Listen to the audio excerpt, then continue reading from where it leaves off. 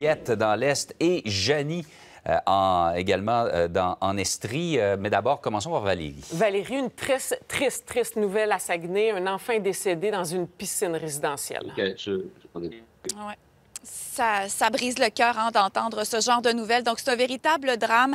Euh, ça a été, euh, ça s'est passé lundi en fin d'après-midi, mais on a eu la confirmation là, de cet événement hier. Donc, un enfant de deux ans seulement qui est décédé dans une piscine résidentielle dans l'arrondissement de Chicoutimi euh, à Saguenay. Alors, euh, autour de 16 heures lundi après-midi, les services d'urgence qui sont rapidement intervenus sur place ont effectué des manœuvres de réanimation, mais malheureusement, le décès de l'enfant a été euh, constaté là, à l'hôpital. Alors, que s'est-il passé?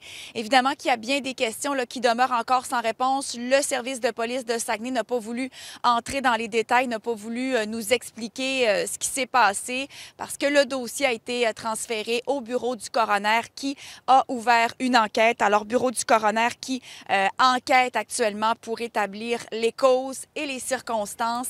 Mais on comprend qu'il n'y a pas d'éléments criminels dans ce dossier puisque les policiers ont transféré au bureau euh, du coroner. Alors, on, on en saura davantage là, lorsque le rapport sera complété. Amélie, un drame à Trois-Rivières.